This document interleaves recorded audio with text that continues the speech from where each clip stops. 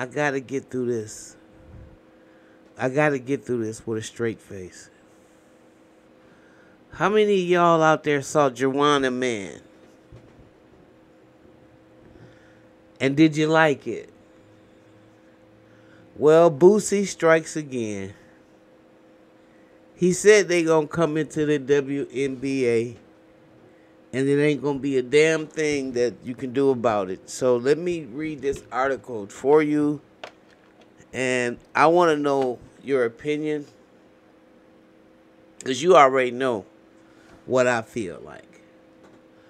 The activist in New York Liberties, Layshia or Lashia Clarendon, on Friday tweeted a story and photos of their top surgery and celebrated a message of strength for the trans community, writing, We've always existed and no one can erase us.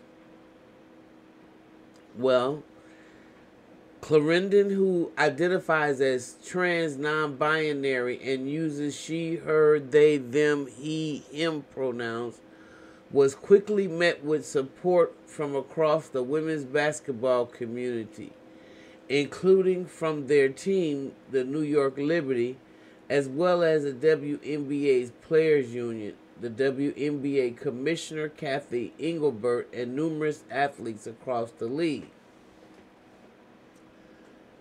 Okay. So, um, we are proud that Layshia is part of the WNBA, and we know that their voice and continued advocacy will not only support and help honor and uplift many non binary and trans people, Engelbert wrote in her Instagram story, but they will also encourage empathy and understanding for the community across all levels of sport. Um, so, what happens when it's um transgender man wanting to play in the WNBA. See, I think you're opening up a can of worms if I'm reading this correctly that you see you all y'all always want to go y'all always want to do too much. You give a my mama used to say give you an inch or take a mile. See and what happens when you create stuff like this and make you know or don't have people accountable for um, things or in this last 30 year of generational weaklings where you don't have to have a diploma, but you can walk across the stage anyway, and we won't hold you accountable for your egregious behavior, but we'll punish everybody else that do it right, really, in a sense. Because we don't want you to fail left out. We don't want to hurt your feelings.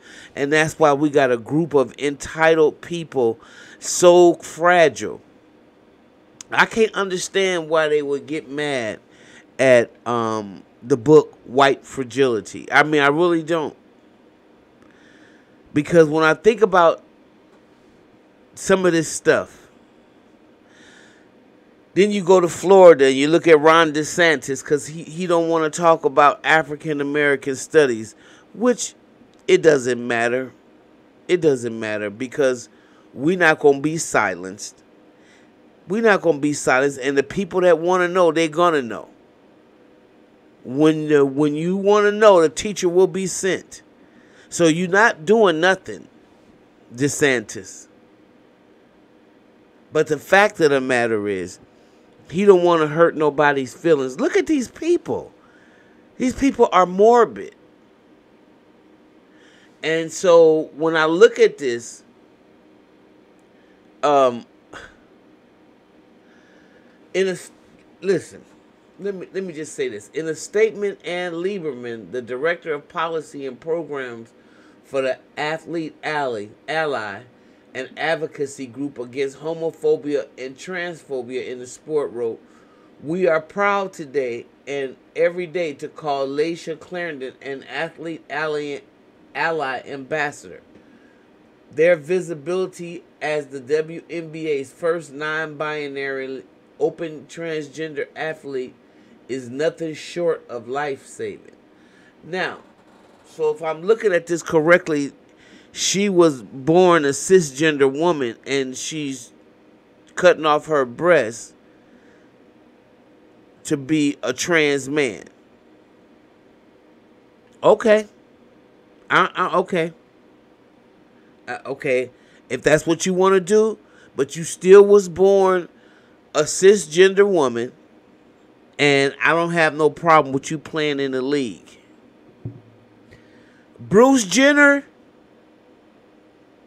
Oh my God.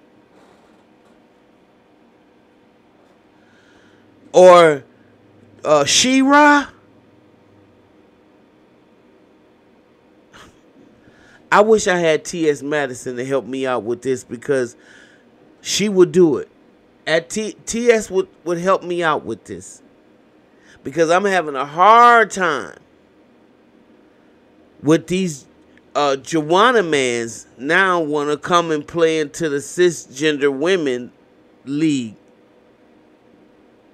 And I don't think it's fair at all. It's just like when they joined the swimming team and when they swam against men, they was 500 in 500 place.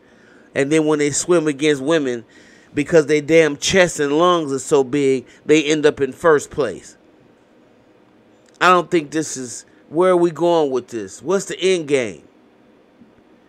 That when you walk down the street and your kids, there's no difference between a man and a woman. That's the end game. Come on, don't whoever is trying to twist the people's mind like this is just showing you just how, in my opinion, how far.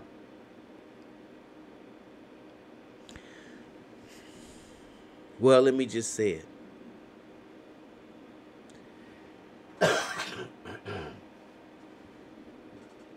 Satan makes evil fair seeming.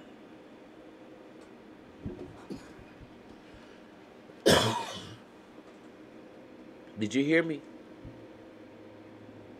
Satan makes evil fair seeming. Leave me y'all comments below.